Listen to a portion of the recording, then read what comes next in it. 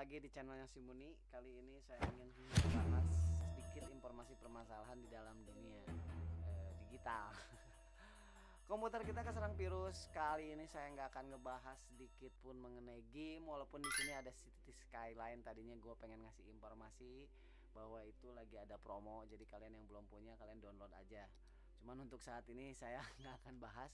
Ini saya kedapatan penyakit dari sebuah virus malware ini nyebelin banget bro. Ini sama kayak kondisinya di uh, dunia untuk virus dari si Copit 19 ini nggak tahu jenis malware yang keberapa.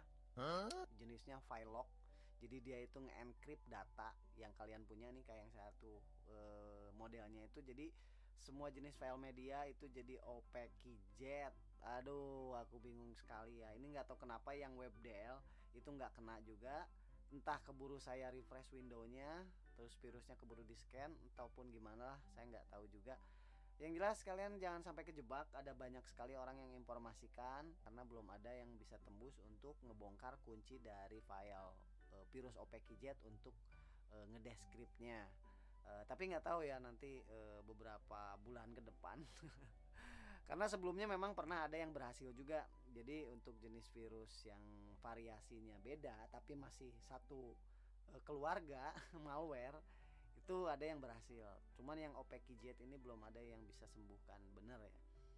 Nah ini uh, saya coba di apa namanya dirapihin.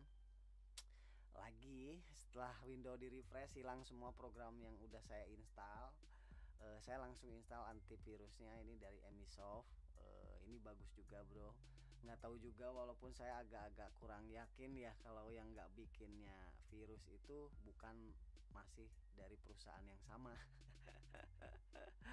Karena begitu virus itu muncul tiba-tiba ada jenis antivirus yang memang dari mana entah berantah tiba-tiba muncul bisa ngalahin kayak sekelas Norton, AVG atau enggak apa namanya AV ya entahlah mungkin eh, yang jelas kita manfaatin dulu aja fasilitasnya saat ini. Mungkin dia bisa tertawa kalau memang yang menciptakannya sendiri ya. Tapi karena keterbatasan informasi juga kemampuan teknologi di kita tuh pasti akan terlambat. Jangankan di Indonesia Amerika aja sempat bingung untuk masalah virus ini ya. Di seluruh Eropa juga kena apalagi di uh, Uni Emirat Arab ya. Aduh itu udah pasti pening dia. File berkas movie video musik semua itu jadi mati. Dan kalian nggak bisa untuk coba rename dikembalikan ke format uh, aslinya. Itu filenya akan hancur bro. Nggak akan bisa dikembalikan lagi nanti. Jadi kalau yang udah kena OPKJ ini udah aja kalian simpen dulu lah filenya. Kalaupun yang mau mendesak mau nggak mau kalian harus kerjain ulang. Tapi file yang udah kena jangkitin virusnya itu jangan dibuang juga.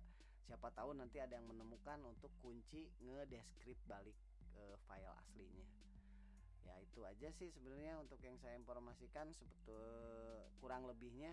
Kalian bisa baca informasi di deskripsinya video ini. Saya akan coba kasih link-link beberapa informasi dari antivirus yang bisa ngebantu kalian memperbaiki permasalahan virus ini. E, yang jelas sih intinya kalian gimana caranya pada saat kalau kena virus ini kalian buru-buru nge-refresh window. Kalau nggak masuk ke save mode ke save modenya tapi sistemnya connect jaringan. Jadi save mode with network ya. Nanti kalian bisa download di situ pada saat di save mode untuk antivirus seperti ini nih. Banyak banget yang bisa nge ngebuang untuk ngancurinnya tapi nggak ada yang e, bisa untuk memperbaiki yang udah kejangkit ya. Hanya sistem windownya aja bisa diperbaiki. Nih jenis variasinya kalian harus pasang Edgard ya biasain ya. Jangan sampai enggak di browser itu karena banyak yang numpang gitu. Di program antivirus seperti ini pun kadang ada numpang. Program-program search engine yang gak jelas yang sesat gitu. E, kemudian ini intimidasinya di situ. E, informasi dia minta duit lah. Intinya nanti saya kasih kembalikan untuk file yang sudah terkunci katanya gitu. Nah ini bro web web seperti ini banyak juga bro. Gue bingung ya makanya semua ngasih tahu cara memperbaiki windownya gitu tapi tidak ada yang bisa memperbaiki virusnya itu sendiri yang udah kejangkit gitu kena file kita ya. Moga aja lah beberapa hari atau beberapa bulan ke depan ada yang menemukan uh, apa uh, cara mengembalikan file yang udah kena OPKJ karena sebelumnya memang udah ada yang pernah sembuh juga.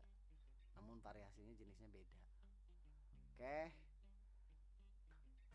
beberapa informasi penting lainnya sih sebenarnya selain ini belum ada lah. Paling eh, informasi corona kalian bisa lihat lah.